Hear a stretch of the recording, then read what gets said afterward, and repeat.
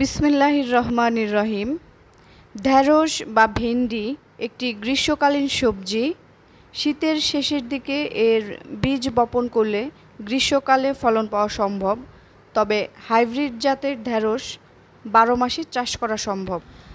আমার মাটি হালকা ভেজা, যার জন্য আমি ঢ্যাঁড়সের বীজ ভিজিয়ে রাখার প্রয়োজন মনে করিনি। আমি সরাসরি লাগিয়ে দিচ্ছি। আর ঢ্যাঁড়স গাছের জন্য আমি আলাদাভাবে মাটি তৈরি করিনি।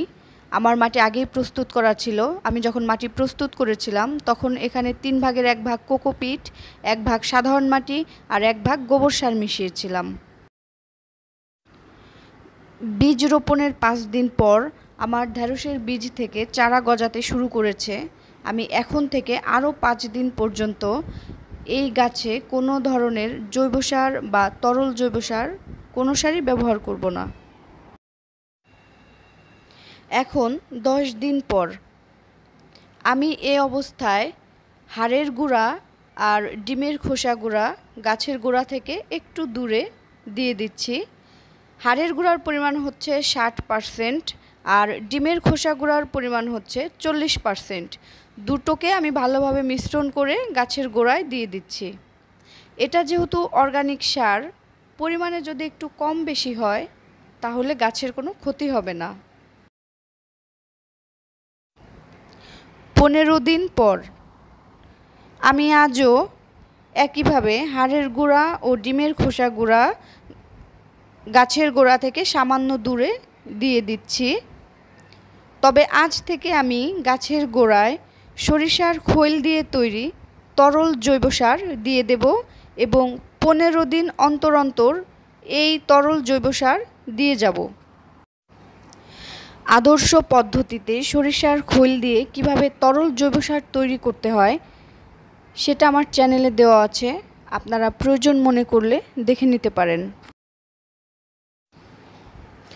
পঁচিশ দিন পর, মাশাল্লাহ, গাছগুলো বেশ ভালো বৃদ্ধি পাচ্ছে। সাথে সাথে গাছের শেকড়ও বৃদ্ধি পাচ্ছে। এ পর্যায়ে আমি একটা কাজ করব। সেটা হচ্ছে, আমি গাছের গোড়ার মাটিগুলো লুজ করে দিচ্ছি যাতে পর্যাপ্ত পরিমাণ অক্সিজেন পায়।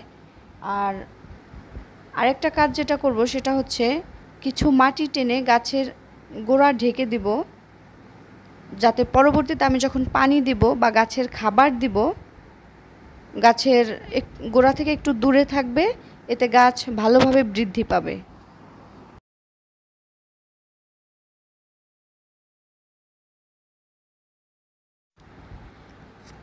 আমি ঢেঁড়স গাছের গোড়ায় এখন সরিষার খোল দিয়ে তৈরি তরল জৈব সার দিয়ে দিচ্ছি। আর এই তরল জৈব সারটি গাছের গোড়ায় পর্যাপ্ত পরিমাণে দেওয়া যাবে, এতে গাছের কোনো ক্ষতি হবে না। আমার বাগানে সব ধরনের সবজি চাষে আমি এই তরল জৈব সারের উপরেই ভরসা করি। সরিষার খোল দিয়ে তৈরি তরল জৈব সারটি যদি একশো পারসেন্ট সঠিক পদ্ধতিতে তৈরি করতে পারেন তাহলে গাছের গোড়ায় যখন ব্যবহার করবেন, পাশাপাশি গাছের পাতায়ও এই তরল জৈব সারটি দিয়ে দিতে পারেন। এতে পাতার মাধ্যমে গাছ কিছুটা খাবার সংগ্রহ করবে। আর এই তরল সারটি যদি সঠিকভাবে তৈরি করতে না পারেন, আর ওই তরল সার গাছের পাতায় দেওয়া হয়, তাহলে গাছের পাতায় বিভিন্ন ধরনের ছত্রাক, ভাইরাস, ব্যাকটেরিয়ার জন্ম হবে, গাছের পাতা মরে যাবে, এক পর্যায়ে গাছও মরে যাবে। পঁয়ত্রিশ দিন পর আমার বাগানে প্রায় পঞ্চাশটি ঢ্যাঁড়স গাছ আছে। এর মধ্যে কয়েকটি গাছে আমি পাতা কোঁকড়ানো রোগ লক্ষ্য করছি। আর এই পাতা কোঁকড়ানো রোগ দমনের জন্য আমি নিম তেল স্প্রে করি। এছাড়াও আপনারা চাইলে নিম পাতা দিয়ে তৈরি কীটনাশক স্প্রে করতে পারেন। এতে আশা করি পাতা কোঁকড়ানো ভালো হয়ে যাবে। আমার বাগানের যে ঢ্যাঁড়স গাছগুলো ভালো আছে, পাতাগুলো ভালো আছে, আমি ওই ভালো পাতাগুলোতেও এই নিম তেল স্প্রে করে দিচ্ছি যাতে পাতা কোঁকড়ানো রোগ না হয়। ঢ্যাঁড়স গাছের মূল গাছটা ব্যতীত যে শাখা প্রশাখাগুলো আছে, এগুলো গাছের বৃদ্ধি এবং ভালো ফলন ব্যাহত করে, যার জন্য আমি মূল গাছটা রেখে শাখা প্রশাখাগুলো কেটে দিচ্ছি।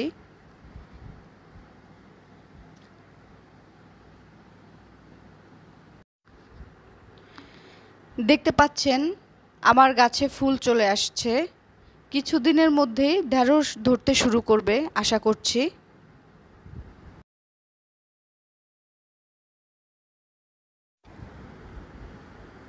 ভিওয়ার্স আমার ঢ্যাঁড়স গাছের বয়স পঁয়তাল্লিশ দিন। আমার গাছে ঢ্যাঁড়স ধরতে শুরু করেছে এবং দেখতে পাচ্ছেন, বেশ কয়েকটি ঢ্যাঁড়স বড়ও হয়েছে। আমি আজ কিছু ঢ্যাঁড়স কাটবো।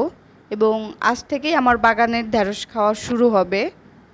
আমার বাগানে যেহেতু পঞ্চাশটা গাছ, আমি প্রত্যেক দিন যদি একটি করেও ঢ্যাঁড়স পাই, তাহলেও পঞ্চাশটি ঢ্যাঁড়স পাবো প্রতিদিন। আজকে প্রথম দিন গাছের ঢ্যাঁড়স কাটছি।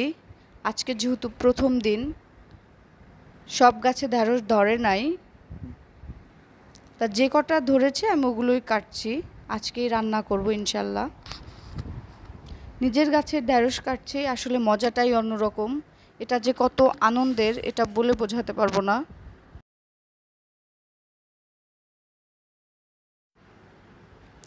আজ আসলাম আটচল্লিশ দিন পর। আজকে দ্বিতীয়বারের মতো আমি গাছ থেকে ঢ্যাঁড়স কাটছি এবং আজকে ঢ্যাঁড়সের পরিমাণটা একটু বেশি হবে, কারণ আজকে বেশি গাছে ঢ্যাঁড়স ধরেছে। আর এই ঢ্যাঁড়সের পরিমাণ দিন দিন বাড়তেই থাকবে, ইনশাল্লাহ। আমি প্রতিনিয়ত গাছের গোড়ায় সরিষার খোল ভেজানো পানি দিয়ে যাচ্ছি।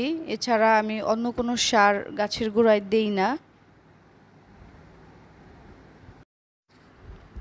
ফুল থেকে ঢ্যাঁড়স বের হওয়ার ঠিক সাত দিন পরেই ঢ্যাঁড়স খাওয়ার উপযোগী হয়ে যায় এবং গাছ থেকে কাটতে হয়। যদি বেশি দিন ঢ্যাঁড়সের বয়স হয়ে যায়, তাহলে ঢ্যাঁড়স আঁশযুক্ত হয়ে যায়, খাওয়ার অনুপযোগী হয়ে যায় এবং এর পুষ্টিগুণও কমতে থাকে। আমার ঢ্যাঁড়স গাছের বয়স এখন পঞ্চান্ন দিন। এখন আমার সব গাছেই ঢ্যাঁড়স ধরে, যার জন্য আজকে পরিমাণে বেশি ঢ্যাঁড়স পাবো।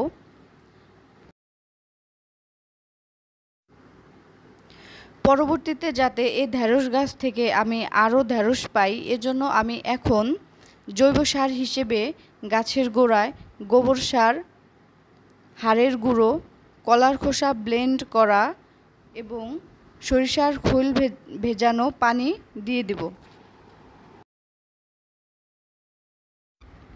ভিউয়ার্স, আমার আজকের ভিডিওতে কীভাবে ঢ্যাঁড়স চাষ করতে হয় সেটা আমি শুরু থেকে শেষ পর্যন্ত দেখানোর চেষ্টা করেছি।